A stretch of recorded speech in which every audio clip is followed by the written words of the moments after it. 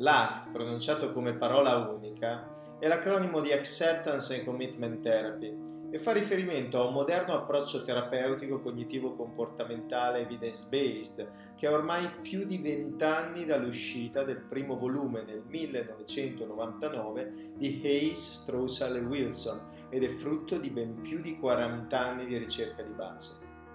Volendo dare una definizione moderna dell'ACT e facendo riferimento ad esempio al manuale del terapeuta ACT, di cui ho avuto il piacere recentemente di curare personalmente la traduzione e l'edizione italiana, potremmo dire che l'ACT è un intervento psicologico basato su principi comportamentali ed evoluzionistici moderni, che includono la Relational Frame Theory e che applica processi di mindfulness e accettazione, processi di impegno e cambiamento comportamentale al fine di creare e favorire flessibilità psicologica nella persona.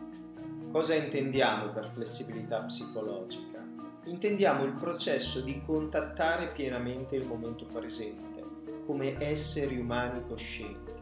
di stare qui e ora mentre facciamo esperienza, siamo disponibili e abbracciamo attivamente e consapevolmente le nostre esperienze private, inclusi quei contenuti, quelle emozioni, quei sentimenti anche spiacevoli che possono emergere a seguito della nostra storia personale, senza tentativi inutili di cambiare o modificarli, soprattutto quando fare questo è costoso nel lungo termine per la nostra persona intendiamo una disponibilità, un'apertura presente e consapevole al servizio dei valori scelti dall'individuo, di ciò che è significativo e importante per lui, allo scopo di aiutare le persone con cui lavoriamo a creare una vita veramente piena e significativa. L'ACT non è quindi una tecnologia specifica, bensì un vero e proprio modello,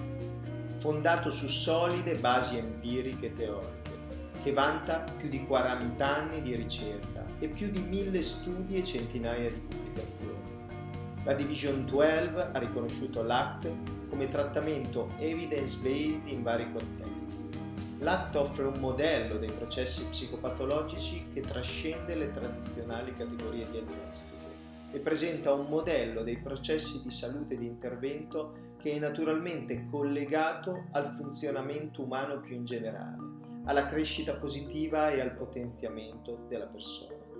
Quello che amo di più dell'ACT è che innanzitutto mette al centro del processo terapeutico non un sintomo o un comportamento o problema, ma la persona stessa, le proprie direzioni, i propri valori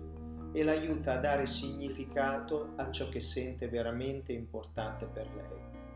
Un secondo aspetto è che offre una lettura della sofferenza umana all'interno di una prospettiva trasdiagnostica che considera fondamentali e comuni processi mentali sia alla base del benessere che della sofferenza psichica. Infine, un aspetto che amo dell'ACT è la solidità scientifica, il fatto che ci siano alla base più di 40 anni di ricerche e che ci sia una solida e attiva associazione scientifica, l'Association for Contextual Behavioral Science, un'associazione di ricercatori, amici, che come in una grande famiglia ha scelto di condividere le proprie esperienze, i propri studi, le ricerche a livello internazionale, collaborando quotidianamente al progresso della scienza di base e allo sviluppo delle applicazioni terapeutiche sociali delle scienze comportamentali contestuali,